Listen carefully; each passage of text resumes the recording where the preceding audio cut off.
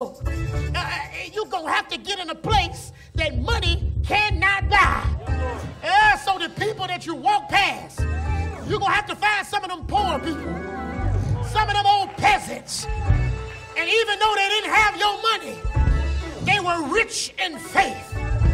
And oh, y'all ain't heard me today. When you're rich in faith, it'll cause the rich man to have to call the poor man and said, Could you call on the name of Jesus? I don't know who I'm preaching to today, but take my money, take the car, take whatever you want to take, but just don't take your spirit away from me. Uh, I need you when I'm going in the I need you in the street. I need you to help me to love people. I need you to help me to do right. I need you on the job. I need you in my marriage. I need you like right now. And a lot of us are in the position we're in. And the reason we're in that position is because we haven't hit the bottom low yet. But God is going to take you real low. And in due time, in due time, He'll raise you up. Come on and bless the Lord up in this place. Breakthrough. You need a breakthrough. Humble yourself. Don't have all the answers. Don't have all the answers. Don't have all the answers. Sit down and be taught. Sit down and be encouraged. Sit down and be refilled. If you really had it all together, why you feel the way you feel? You ain't fooling nobody. Let God heal you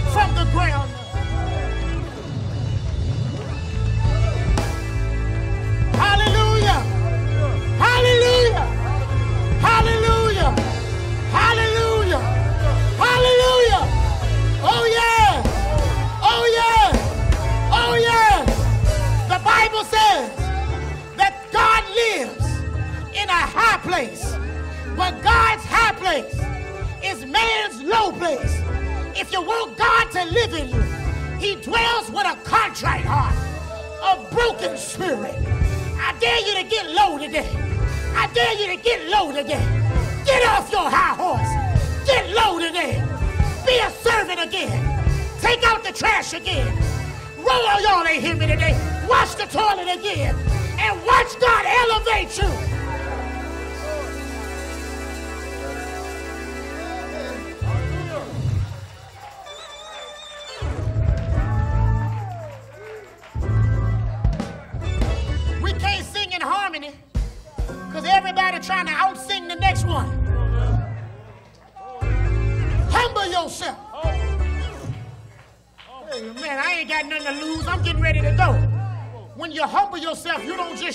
When it's your time to preach.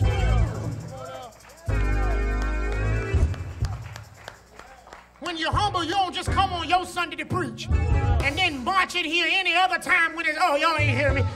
When you're humble, you don't just come on your praise Sunday. Hey, y'all, I'm talking to here today. When you humble yourself, even when they don't call you to the front, ah, it ain't about me. Not about me. And when God can say it ain't about, when He can get me to a place, when He said, Lord, I don't even want the attention. See, that's when God's starting to mess with you there. God, don't even let them call my name. Just let me serve you because I found out that blessing, your blessing is better than recognition. And I don't need the, oh, y'all ain't heard me today. I don't need the applause of people when I got the approval of.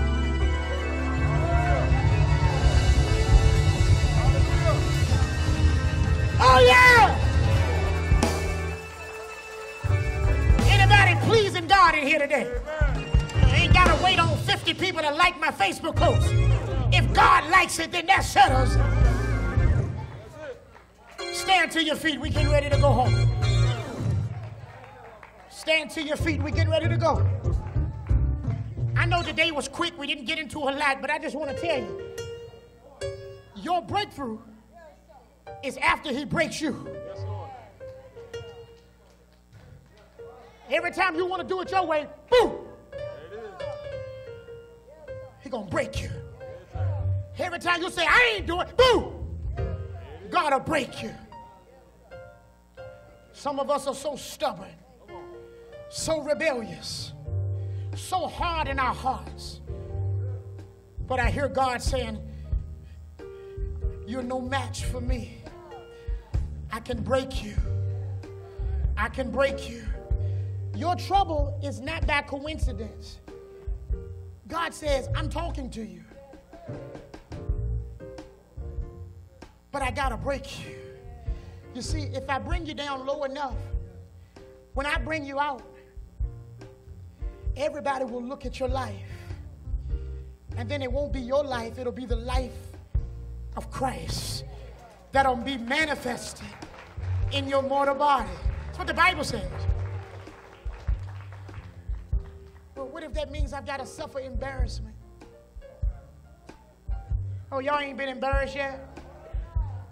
Come talk to me. I'll tell you about what it's like to be a spectacle.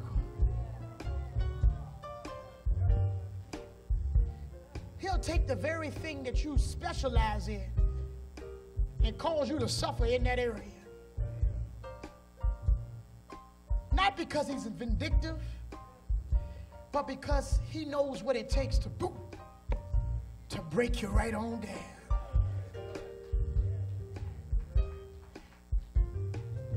I know we didn't get into a whole lot of topic today. But if you get this, that God hangs out with the low people. I'm closing here. There was a man by the name of Zacchaeus. Y'all remember that song in the church? Zacchaeus was a wee little old man, and a wee little old man was he. Remember that song? He climbed up in a sycamore tree because the Lord he wanted to see.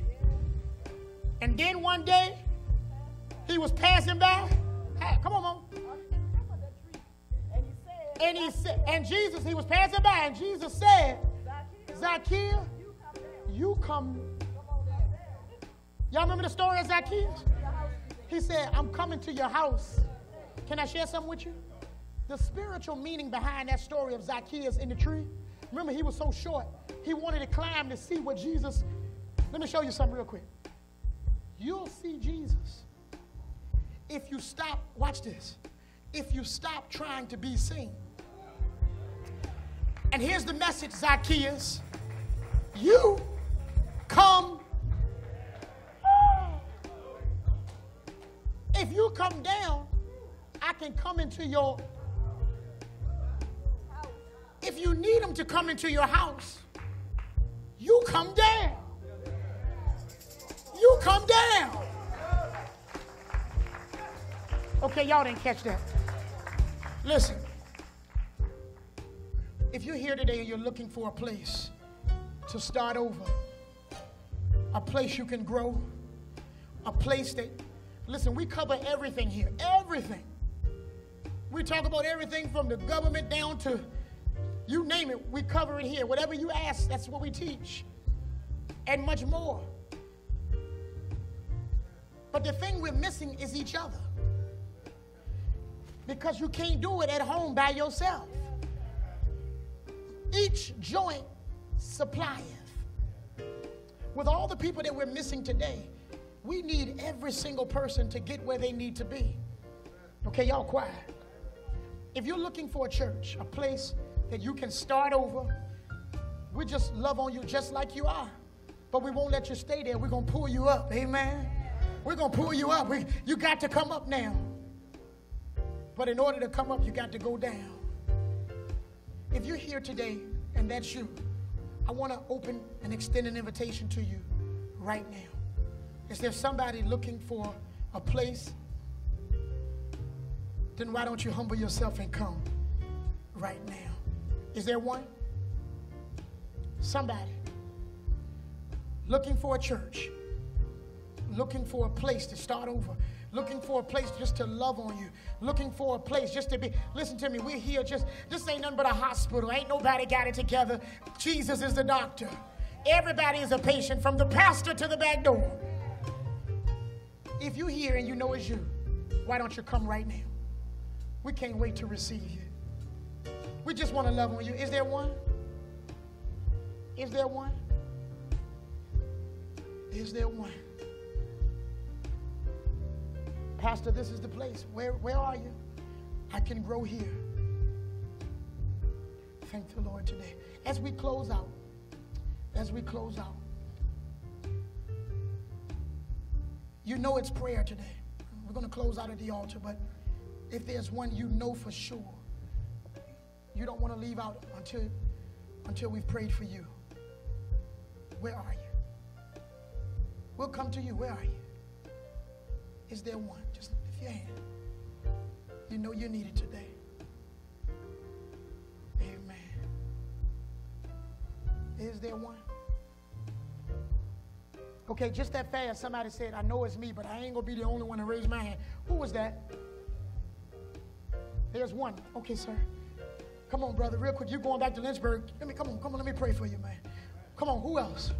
Who else? Who else? Thank God. Who else? Amen. Amen. Whatever you need, God's got it today. Whatever you stand in need of, God has got it today. Every bit of the hurt and rejection. I don't have to know you, but I can tell you God loves you so much, man. And the truth is, you have not heard those words in a way that it has penetrated your heart, in a way that you can receive it. But today, I pray that the Lord would allow you to feel His love. I pray that the Lord would allow you to feel the embrace of a father. The words that you are approved, the words that you are great, you are powerful, you are anointed, you are not a mistake, you are not a coincidence, but you are fearfully and wonderfully made. I command every spirit that have attacked you, even from a young boy, that made you feel like you could never do enough to please even your family. I don't know you, but I'm telling you what God is putting on my heart. You never could do enough. No matter what you tried, you changed up this, you changed up that, you changed up your dress, you changed up where you hung, and it was somebody that was dissatisfied. But the devil is a liar today. Because you're not here by coincidence, you're here by divine appointment. So the Holy Ghost is already dealing with your heart. And from the crown of your head to the sole of your feet. The love of God is wrapping you up right now. And I command every spirit of rejection, hurt, disappointment, failure. I can't do enough. I can't be enough. I'm not this enough. Every demon that lied and spoke to you even at nighttime about why other people had it and you didn't. The enemy is a liar, and I command his words to fall right now and be burned up. And I speak life. I speak life in the name of Jesus. Just what I want you to do. I just want you to forgive somebody. You may have thinking you already have done it. That's fine. It's all right, but it ain't to hurt. So I want you to do this with me. I don't know how your relationship was with your father. But I want you to forgive him. And I want you to forgive every family member that didn't recognize the greatness that was in you.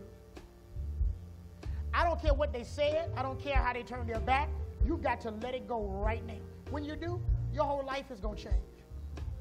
Because the business that you've been wanting to, to, to, get into and start, but you push it aside because you don't think it's ever going to be a good time because right now you can barely get things done the way you need to get them done. So, how will you ever start?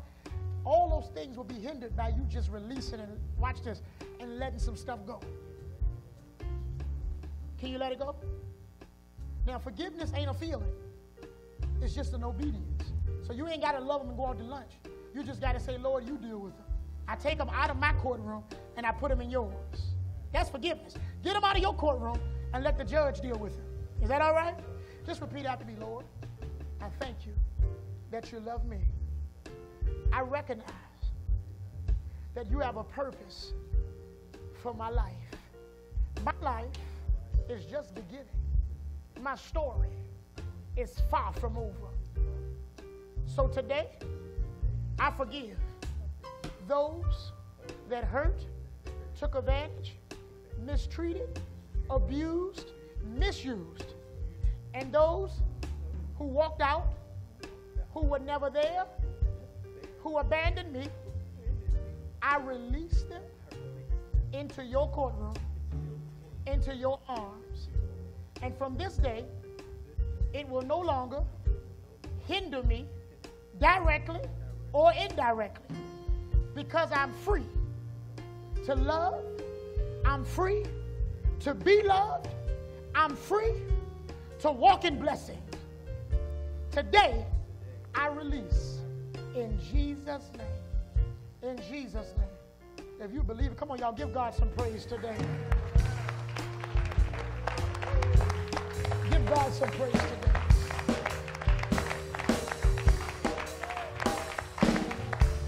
Give God some praise today. Now, God, out of his belly, let it flow rivers of living water. Every demon that has lied to him and tried to attack him, even in his dreams today, God.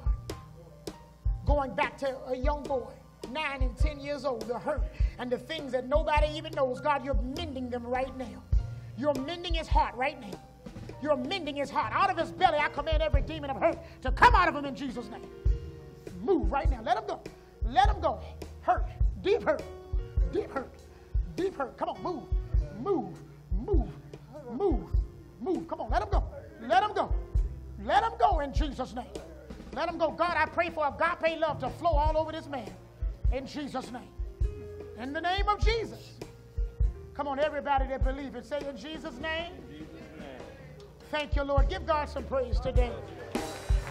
Give God some praise today. We're going out the building. Who else? Amen. Amen. Let's pray. Father, in Jesus' name, Lord, I thank you for this day.